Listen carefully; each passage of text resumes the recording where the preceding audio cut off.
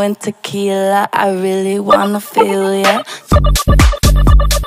I wanna feel.